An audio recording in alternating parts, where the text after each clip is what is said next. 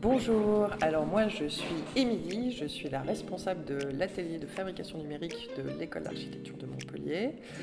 Euh, ce lieu est aussi appelé la Fabrique Ensam et du coup c'est un espace de 200 mètres carrés où on retrouve, euh, qui a été aménagé, donc il y a une partie avec des espaces de travail et une partie avec euh, des, ateliers et des machines. Parmi les machines, on retrouve euh, une découpe laser, deux imprimantes 3D, un plotter de découpe, une étuve, et puis on a d'autres machines qui ne sont pas forcément pilotées par des ordinateurs, telles que les machines à coudre, les thermoplieuses. La fabrique, c'est aussi un lieu d'enseignement et c'est aussi un lieu où on reçoit euh, des professionnels et des spécialistes dans des domaines très particuliers et qui permettent d'amener aussi d'autres visions aux étudiants. Vous pouvez retrouver nos activités sur le site euh, de La Fabrique, lafabrique.montpellier.archi.fr et vous pouvez aussi nous retrouver sur les réseaux sociaux, Twitter, Facebook et Instagram.